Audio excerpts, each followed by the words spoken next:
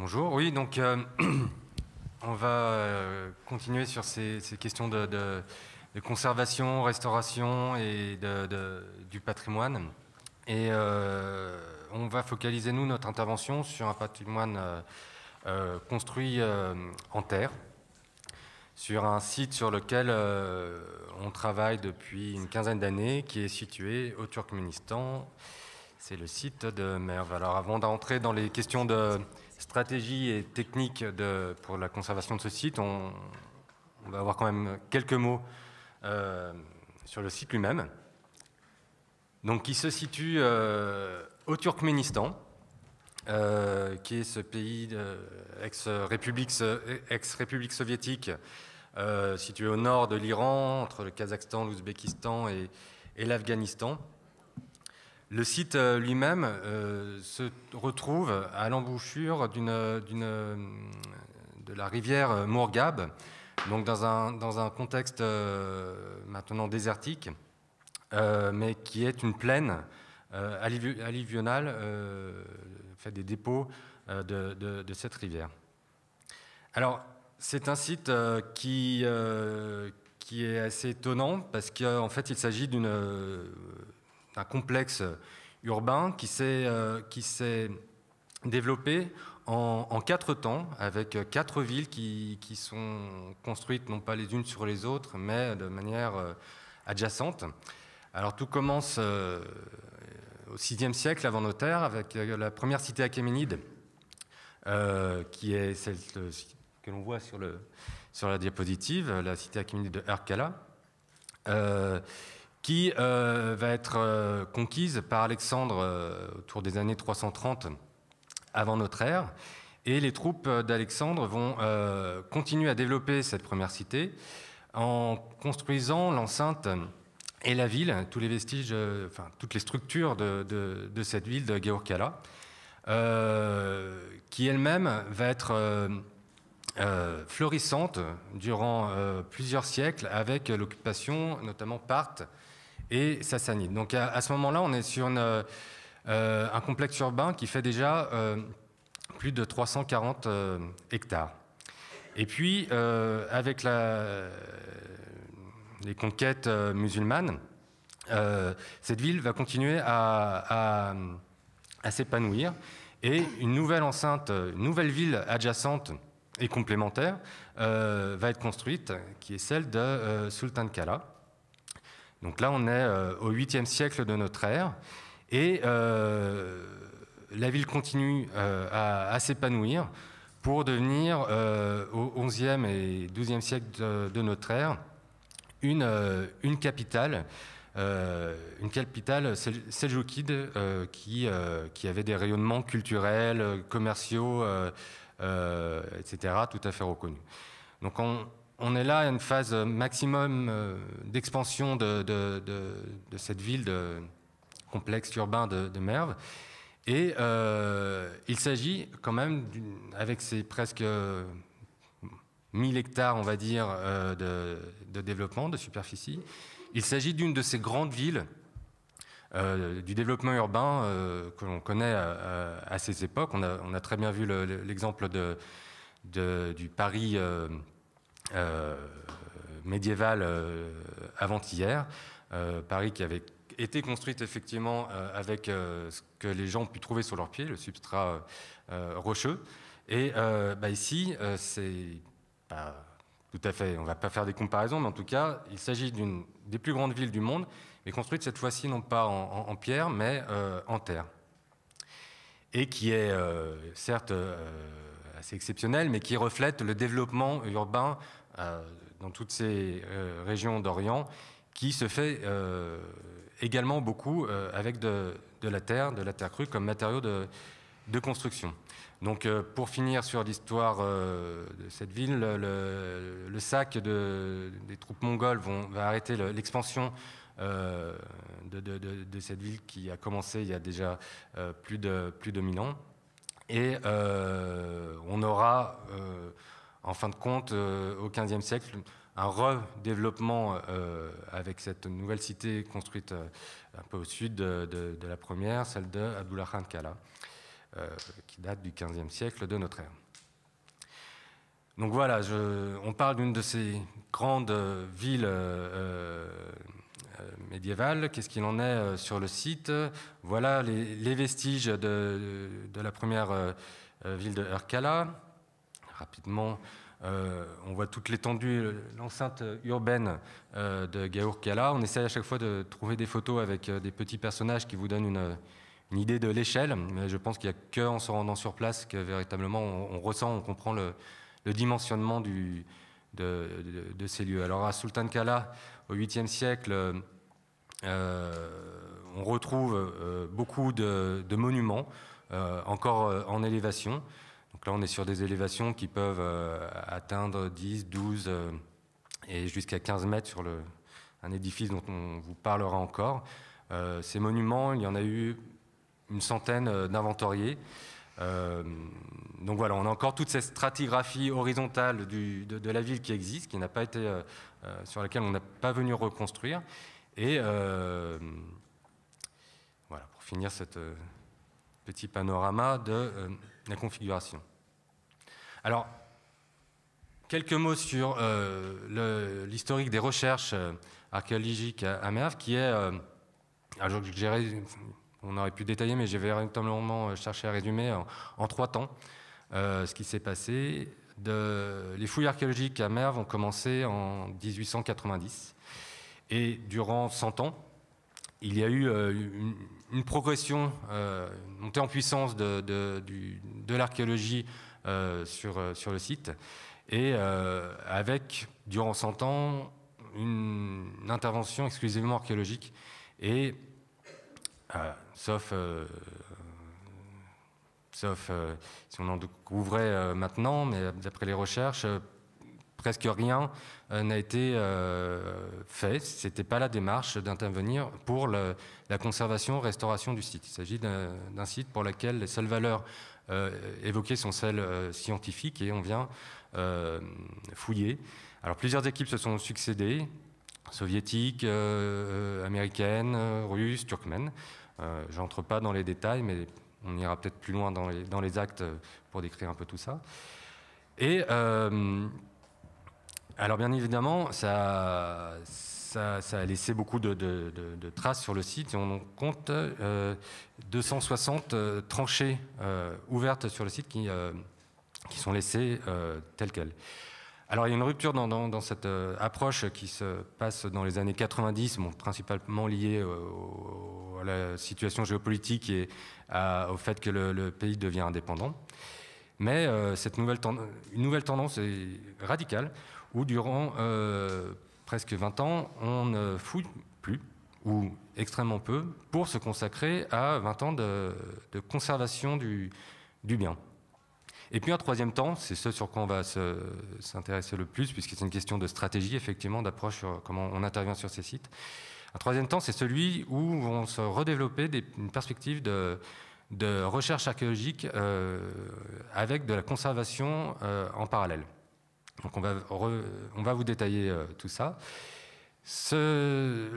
simplement, je voudrais insister sur le fait que ce schéma euh, en, trois temps est, euh, quelque chose de, très fréquent en fait sur, des, sur une panoplie de, sites archéologiques dans ces régions d'Asie centrale et avec quelques exemples aussi piochés sur d'autres sites en Orient, en Orient, où on a véritablement une euh, une, problématique où la question de la fouille archéologique et de la conservation n'est pas, euh, pas coordonnée. Donc avec, on imagine bien, les, problèmes euh, que ça peut poser derrière en termes de, conservation. Alors, je vais juste détailler un tout petit peu les, dernières années et où se situe notre projet. En 87, le, site archéologique était un terrain d'études pour les différentes équipes euh, archéologiques, devient euh, officiellement un parc euh, historique et culturel qui est géré au niveau du ministère de la Culture turkmène. Donc ceci amène à, permettre... Alors c'est à ce moment-là aussi que les premières conservations, qui sont des restaurations de monuments que je ne vous ai pas montrés, mais de monuments en briques, parce qu'il en existe aussi, euh, d'extrêmement important d'ailleurs, mais je veux qu'on concentre la, présentation sur la conservation du patrimoine dentaire. Enfin voilà, le, phénomène de conservation-restauration commence euh, en même temps que le parc est créé. Et puis une première euh, étape de collaboration s'ouvre avec une collaboration des, archéologues du Collège de, Londres et, et des les, autorités locales en charge du patrimoine. Et un, projet est lancé qui va durer, euh, euh, qui, va, qui, va, être en deux étapes, mais qui va durer au, final une, vingtaine d'années. Euh, tout ça a permis de, bien redocumenter le bien, d'en faire un état sur la conservation, de commencer à comprendre les, phénomènes et problèmes de, de conservation qu'il pourrait y avoir et de, de monter un dossier d'inscription pour proposer le bien sur la liste du patrimoine mondial. Et en 1999, le bien est inscrit sur la liste du, patrimoine mondial. Un an après, le bien est inscrit sur la liste des 100, monuments les plus en danger euh, au monde. Parce que bien, évidemment, euh, ces questions de, conservation et de préservation des architectures de terre, euh, surtout celles qui ont, été dégagées par les fouilles, sans qu'aucune mesure de protection n'ait été établie, euh, permet d'anticiper très vite sur le fait que euh, tout cela risquait de se dégrader et de, disparaître. Euh, dans quel cas la valeur exceptionnelle universelle reconnue pour le site ne serait plus portée par aucun vestige en place.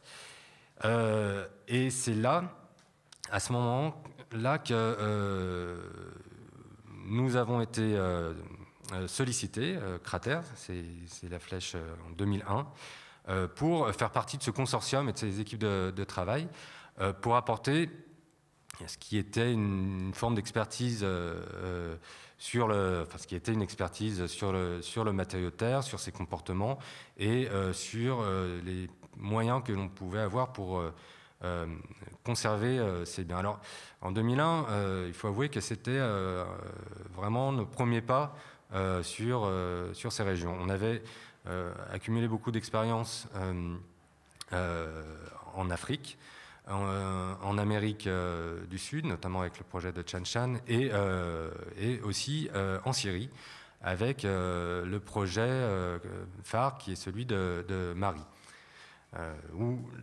pour lequel une collaboration entre l'archéologue et l'architecte avait déjà pu être menée à bien, ce, en quoi on croyait très fort dès le début quand, on, quand on, est intervenu. Euh, et du coup, les premières années ont, consisté euh, pour nous à essayer de, mettre en place cette stratégie de, de fouille et conservation, en tout cas d'approche archéologique et d'approche sur la restauration euh, en parallèle. Et plutôt que de donner des recettes pour conserver ou mettre en, place les choses, de, lancer un processus expérimental et euh, lié à un processus de formation des équipes euh, euh, locales pour, essayer de retrouver un savoir-faire, une connaissance sur le matériau terre adaptée au contexte local et qui nous permettrait de, de, renforcer les capacités des équipes pour qu'elles-mêmes puissent développer leurs propres, leurs propres expériences, leurs propres capacités et de manière durable conserver les, les architectures de terre. Alors, le, site, euh, le bien sur lequel on, va intervenir, c'est euh, le moment sur lequel on va intervenir, c'est juste après en 2011, euh, où on travaille effectivement avec les archéologues et, deux équipes de, fouilles. Voilà, juste, mais je vais aller rapidement pour vous expliquer le, pour ces, images sur la, production des briques pour dire qu'on a, voilà, on a mis presque une dizaine d'années déjà rien qu'à à remettre en place euh, une filière de production de briques qui allait être euh, satisfaisante pour euh, pouvoir conserver les, biens, avec notamment l'installation d'un laboratoire. Alors je vais passer la parole à ma collègue Shamsia pour rentrer dans le détail du projet de conservation. Oui, bonjour.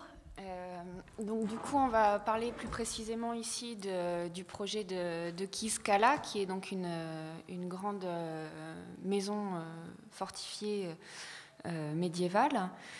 qui se trouve donc, comme vous le voyez, à l'extérieur de, Sultan Kala, qui a bon, divers problèmes de datation, mais qui est plutôt autour du, du 8e, 9e, 10e, 11e, 12e de notre ère, hein. voilà, pour vous montrer petits problèmes de datation, et euh, qui est très fréquenté aujourd'hui parce qu'on est sur euh, la route de la soie, qui, porte un nom très attractif et qui amène un certain nombre de, gens euh, dans ces contrées. Et on est sur un édifice assez monumental, comme vous pouvez le voir, qui a plus de 12 mètres d'élévation et euh, qui est euh, absolument euh, unique en Asie centrale. dans cette région, on en, retrouve plusieurs de ce, de, ce, même type, mais c'est quand même assez des bâtiments qui sont assez exceptionnels et nous, la chance qu'on a pu avoir, c'est que ce bâtiment n'a pratiquement jamais été fouillé. Mais il y a eu un vague sondage en 89, mais euh, sinon euh, rien du tout euh, au niveau de la documentation archéologique. Donc, ce projet donc, sur lequel on travaille depuis 2011 est un projet pluridisciplinaire, pour employer des mots qui, qui, font bien, entre des architectes, des archéologues, des conservateurs. Euh, mais aussi également un travail qui se fonde sur euh, l'expérience et le, de, des maçons, euh, et évidemment sur une équipe d'ouvriers très, très importante. Donc c'est vraiment un échange entre tous ces, entre tous ces partenaires. il y a, comme vous le verrez, on prend des décisions tous ensemble et en fonction des points de vue de chacun. Euh, donc au niveau de la, stratégie, euh, puisqu'on parle des outils stratégiques et, techniques dans cette présentation, on a commencé par, euh, par, faire un gros travail de documentation pour savoir ce qui avait été réalisé avant notre intervention, et notamment, notamment tout ce qui est conservation Donc, euh, grâce aux, archives euh, de, notre gestionnaire de site, nous avons pu euh, déterminer ce, plan donc, qui a été fait en 2007 et où on peut voir que l'angle, parce qu'on s'est essentiellement concentré sur la façade sud du bâtiment dans un premier temps, c'est un projet qui est en cours, hein, donc ce qu'on vous présente, c'est les résultats de notre mission du mois de mai de cette année. Et donc du coup, on s'est euh, concentré sur cette façade sud pour voir euh, quand avaient été effectuées les restaurations et euh, comment. Et donc vous voyez l'angle sud-est dans un premier temps, l'angle sud-ouest l'année d'après, et quelques années après, en 2005, la jonction entre ces deux angles. Donc L'image, là, pour le coup, est intéressante parce que vous vous rendez compte qu'il n'y euh, a pas d'échafaudage qui ont été euh, installés. Et c'est une petite donnée qui, va nous, être utile. Enfin, qui... Et cette photo a résolu un certain nombre de problèmes, ne serait-ce que pour l'archéologie du bâti, euh, parce qu'il n'y a aucune trace d'échafaudage pour la construction de ce, bâtiment. Donc voilà, donc ils montent euh, par escalier. En fait, ils posent des, briques en bas qui, vont leur permettre de, monter en escalier pour, euh, aller restaurer euh, plus haut. Voilà, bon, je m'étale pas. bon, donc en résumé, donc sur cette façade sud, voilà les, parties qui sont originales. Aujourd'hui, donc 2015, la fouille de 1989, donc un sondage en base de mur, euh, et euh, les différentes euh, conservations dont j'ai pu parler. Sachant que donc, nous, on est arrivé entre 2005 et 2012, il y avait eu des interventions aussi, et ces, trous qu'on peut, peut voir dans la, dans la base de, de la maçonnerie. Donc, bah, cette, cette, ce bâtiment, il fallait commencer aussi à comprendre quels étaient les, processus et les, circonstances de dégradation. Donc cette image d'archive était intéressante pour nous montrer que, le, bâtiment était quand même assez, bien préservé jusque dans les années 70 et qu'ensuite on a eu une accélération des dégradations. On sait pourquoi.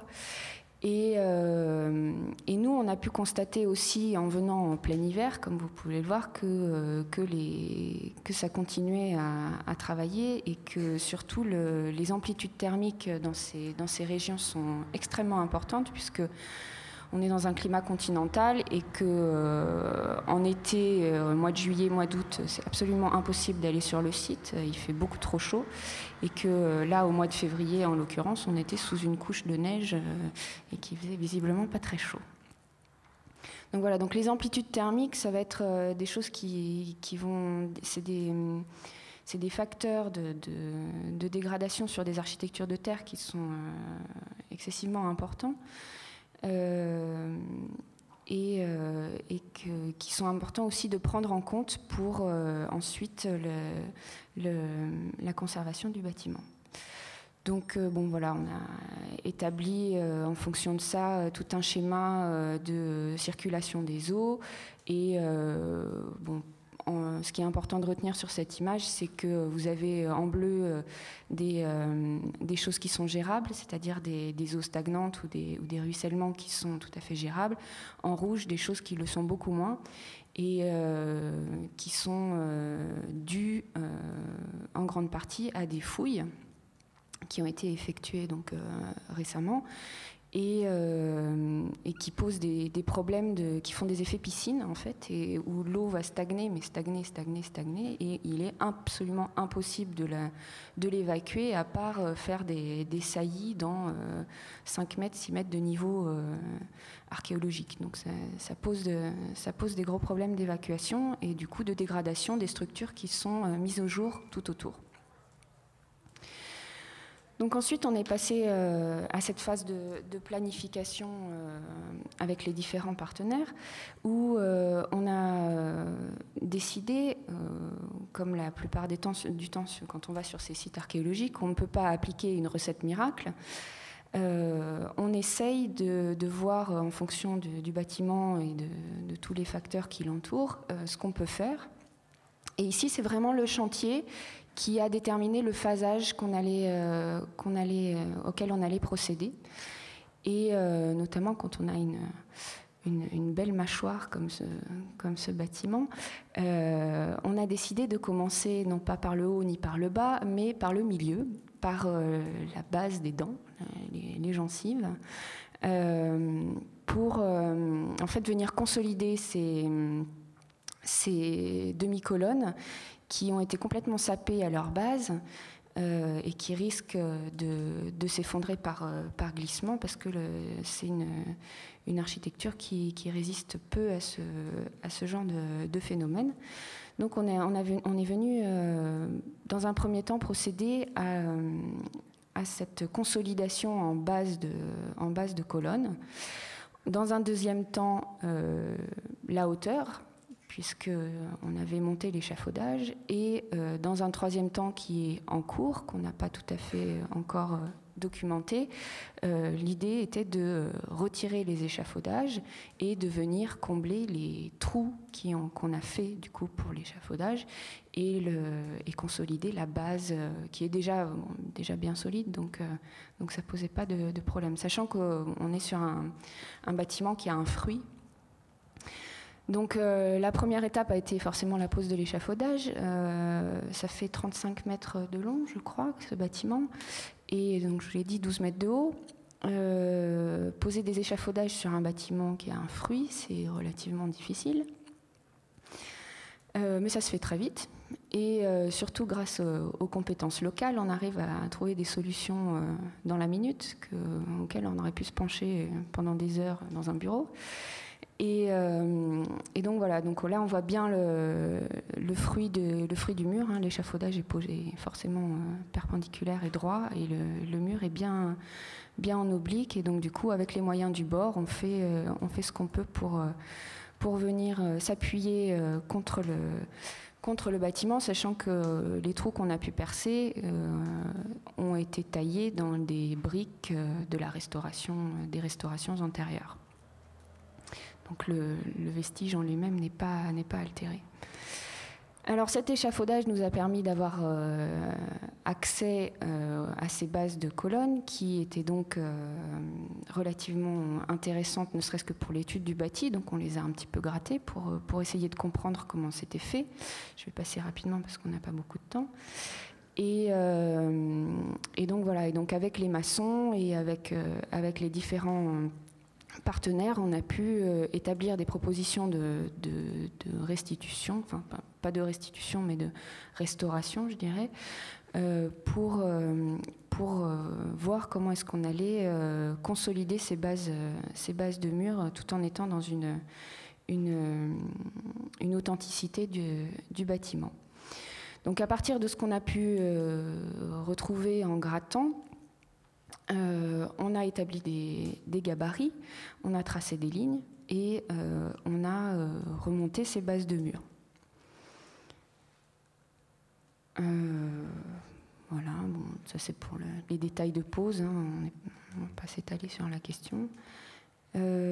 ensuite, on a pris le parti de venir recouvrir d'une couche d'enduit ces, briques nouvellement posées euh, partie qui, euh, qui a été controversée, enfin qui peut l'être toujours puisque on, on, ne sait pas comment c'était à l'origine, sauf que euh, pour nous c'était essentiel d'appliquer cette couche parce que c'est une couche sacrificielle. Et comme on en parlait tout à l'heure avec la première présentation, c'est cette couche-là qui va s'éroder. Donc on est dans ce fameux euh, principe d'accepter que de toute façon, ça va s'abîmer. Donc euh, c'est ce qu'on appelle des couches sacrificielles. Et c'est ces couches-là qu'on va venir entretenir d'année en année euh, pour éviter que ce qui est en dessous ne s'érode avec les différents facteurs de dégradation. Donc le résultat final, voilà ce que ça donne, sans la troisième phase. Et euh, donc on a appliqué ce même principe d'enduit sacrificiel sur les têtes de mur, puisque c'est les têtes de mur qui souffrent le plus des, intempéries. Donc on est venu euh, poser des échafaudages à l'arrière du bâtiment, donc à l'intérieur, pour, euh, pour enduire ces, ces, têtes de mur. Et malheureusement, on n'a pas eu des. L'échafaudage n'était pas suffisamment stable et les conditions étaient un petit peu disons que la sécurité n'était pas, vraiment assurée pour qu'on puisse monter l'échafaudage jusqu'en haut. Du coup, bon, il, est question de faire venir des systèmes de levage euh, pour, euh, pour venir boucher tous les petits trous que, sont venus faire les, les moineaux euh, au fil des siècles, qui sont dans la, dans la façade. Voilà, donc toutes ces, toutes ces étapes euh, techniques, elles, euh, viennent s'inscrire dans une, phase d'enregistrement qui est très importante pour, euh, d'une part pour les archéologues, mais qui va nous permettre aussi à nous d'avoir un recul et d'avoir une vision avant, pendant et après nos interventions qui sont très importantes dans notre démarche. Donc là, bon, c'est sur les, outils qu'on utilise en commun avec les archéologues, qui sont euh, des, outils très simples, qui sont manipulés aussi par les, partenaires euh, locaux avec qui euh, on travaille et qui donc peuvent faire ce, travail de relevé relativement facilement et rapidement. Voilà, je te laisse reprendre sur les perspectives et conclure. Oui, alors je vais aller très rapidement en fait. L'idée qu'il faut retenir, c'est que ce, travail euh, qui a été fait sur cette façade, qui est une élévation plus, ou moins complexe à, reprendre, était l'aboutissement déjà d'une dizaine d'années de, reprise des savoir-faire euh, sur le matériau de terre euh, intégré par les équipes. Et voilà, on, travaille de cette manière avec une sorte de montée en puissance qui va nous permettre aujourd'hui d'envisager euh, d'accompagner euh, euh, avec la conservation le projet de, fouilles archéologiques qui, qui est établi avec les partenaires qui s'intéressent plus à volet archéologique de, du site. Donc l'intérieur est en train, l'intérieur du site est en train d'être fouillé. on sait qu'il y avait au moins deux niveaux euh, de, pièces euh, superposées euh, qu'on imagine, qui, sont distribuées autour d'une cour intérieure, et c'est cette cour intérieure qui va être peu à peu dégagée.